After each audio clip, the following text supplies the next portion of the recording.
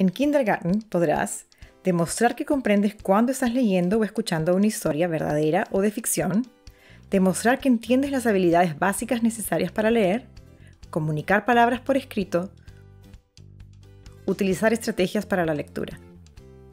Estos estándares son los que tu estudiante debe saber al final de cada año escolar. Esto podemos saberlo viendo si están en progreso o in progress, en comprensión parcial, partial understanding o competente, proficient, en cada área. Algunas escuelas se refieren a ese tipo de evaluación como grading for learning. En kindergarten podrás demostrar que comprendes lo que estás leyendo cuando lees una historia de ficción o una historia de verdad. Esto significa que puede contar a alguien o que pasa un cuento o que aprendiste a escuchar o leer algo.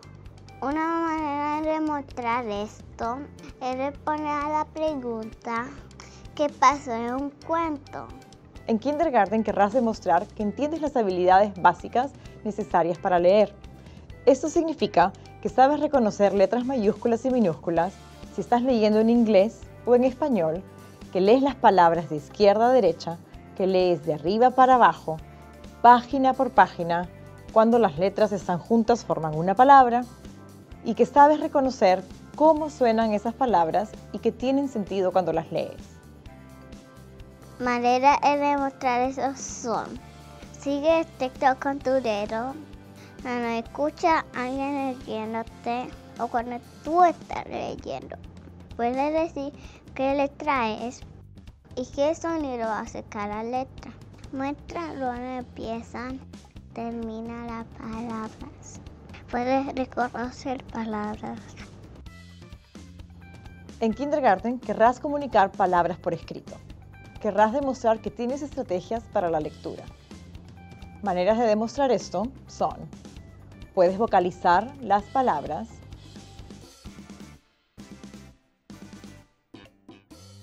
Sigues el texto con tu dedo cuando alguien te está leyendo o cuando tú lees. Puedes contarle a alguien qué pasó en la historia y preguntas qué significa una palabra cuando no la conoces. Esto significa para usar todo lo que aprendiste sobre leer para darte cuenta cómo suena una palabra y qué significa.